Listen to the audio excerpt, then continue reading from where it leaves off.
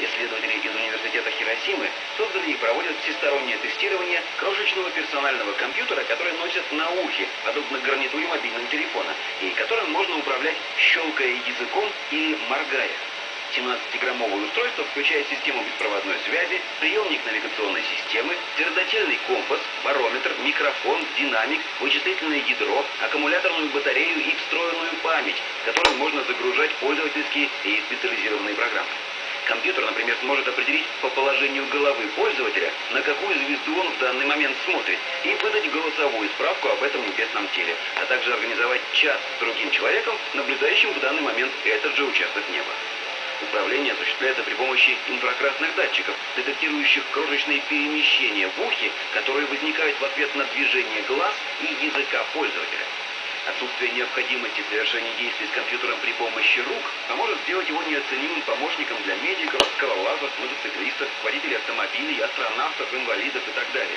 Кроме прочего, компьютер может контролировать состояние здоровья своего пользователя, измеряя частоту пульса, температуру тела и прочие показатели. Акселерометр и гироскоп смогут определить момент, например, когда человек падает, потеряв сознание, и передать информацию об этом врачам и родственникам. В случае удачного завершения разработки мини-компьютера, первые коммерческие образцы могут появиться на рынке уже к апрелю 2016 года.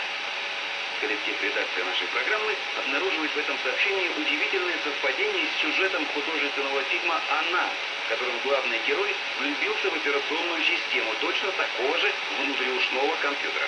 И финал этой истории получился крайне неоднозначным. Надеемся, что японская разработка пока не настолько совершенна, чтобы вызвать в ком-нибудь столь сильную привязанность.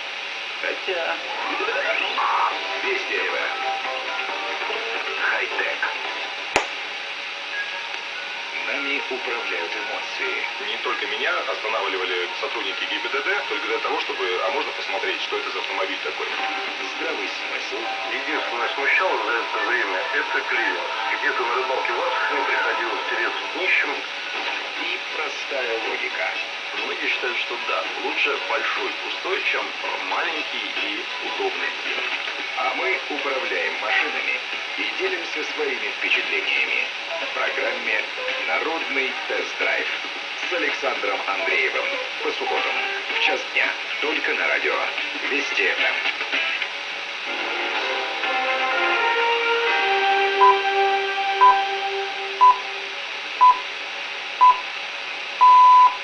Москве 6 часов вечера. Информационная программа «Вести-24». Обо всем, что произошло в России и в мире за 24 часа. В студии Светлана Токарева, Александр Андреев. Здравствуйте. Коротко о главных событиях дня и об основных темах нашей программы.